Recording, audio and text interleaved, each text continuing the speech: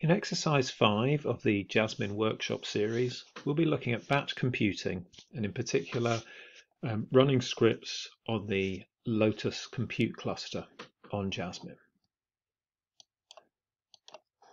So here's our scenario.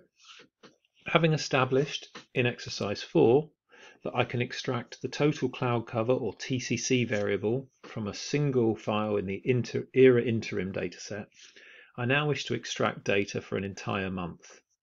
So this is a kind of common scenario where you, you learn how to do something for an individual file or time step and then you want to scale it up to process more data. So I will write some simple scripts to batch up separate processes that use the CDO or climate data operators tool to extract the TCC variable from a series of ERA interim files. Each time I run the script, I'll loop through four six hourly files for one day. And then I will run the script 30 times, once for each day in September 2018. And each run will be submitted to the Lotus cluster. Our objectives are stated here. After completing this exercise, I'll be able to write scripts to batch up tasks and then submit those scripts to the Lotus cluster. In terms of JASMIN resources,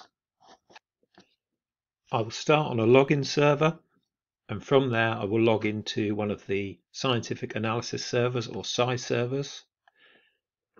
Um, I will then submit jobs to run on the compute nodes on our batch compute cluster, which is known as Lotus. I'll need access to the CDO tools, which are part of the common software that's available to JASMIN users. And I'll need read and write access to a group workspace because I'll be writing my outputs there. I'll also need read access to the CEDA archive, um, which is where the ERA interim dataset is available.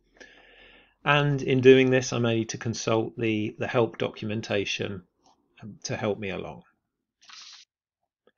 In terms of local resources, I will just need an SSH client, which allows me to log into JASMIN. Here's the outline of the task itself. Now the recommended way of doing each step in the task is covered in the cheat sheet below, but you may wish to try and solve it for yourself first. So your starting point is on a JASMIN login server, and we explained how to get onto there in exercise one. Step two is to SSH to one of the scientific analysis servers or SCI servers. Um, step three is more involved because this is about actually writing a bash script um, called extract era data that calls the CDO extraction command. Uh, but don't worry, we have an example script that you could use if you need some pointers along the way. Step four is then running, writing a script called submit all and submit all is able to loop over multiple time steps um, and then that in turn can call the extract era data script that you've written in step three and submit that job to Lotus for each day that you want to run for. Note that initially we suggest that submit all just runs for the first and second of the month.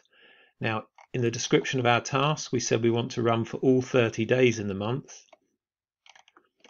But actually, when we are prototyping and when we are testing that our scripts are doing the right thing, it's really important that we do things in small stages.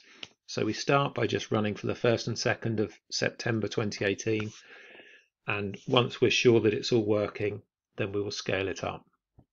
So once you have the scripts in place, you can run the submit all script um, and then from there, it's good to be able to examine which jobs are running in the Lotus queue. You can also examine the standard output and standard error files um, that are being generated by each, each of the jobs running on Lotus. Once you've been through this process and you're happy that everything is working properly, then the idea is that you scale up from running for two days to running for 30 days by modifying the contents of submit all so it will run for the whole of September 2018. If you rerun the, the submit all script, that should run for all the days of the month. Again, we can examine which jobs are in the queue. And the final step here is to actually kill one of the jobs, um, either whilst it's queued or whilst it's running, and just to see how that is done. When you finish working through the task, there are some extra questions here which you might like to test yourself with. If necessary, referring to the help documentation. The same questions are in the notes and you can refer to them when you've finished working through the exercise. We'll go through the solutions to the questions in the next video. So, what next? Try out the task for yourself and then go on and watch the solutions and discussion video. And the video includes a walkthrough of the task, discussions of alternative approaches, and guidance on best practice. It also gives answers to the self-test questions.